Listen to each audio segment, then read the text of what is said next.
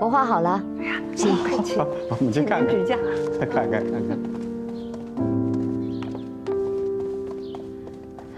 好，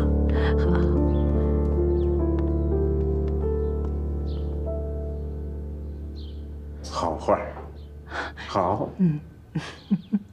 你呀，寻着宝喽。嗯。哎，对了，婚宴定在什么地方了？镇江。镇江，那我可要等你们的请帖了。好，一定请您去，一定请您去。你的国画跟谁学的？小时候在家看着名师的画临摹的，因为喜欢这个，所以经常把自己关在房间里练，就当做打发时间。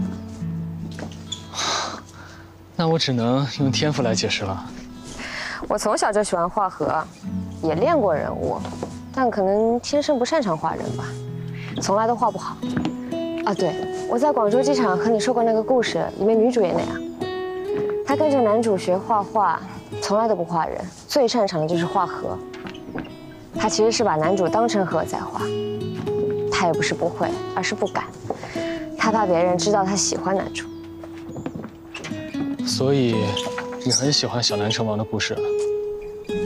哦，我差点忘了，你和我说过你知道这个故事。你从哪儿听说的呀？他就在我们家的族谱上，我的名字也是取自他。那在你们家吗？我想看。可以啊，回去给你看。